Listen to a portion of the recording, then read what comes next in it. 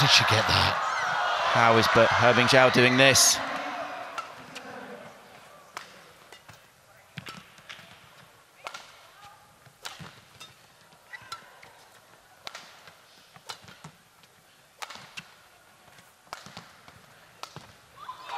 No way. That's impossible. She can't. She has. Oh my goodness. Oh, that's going to finish it.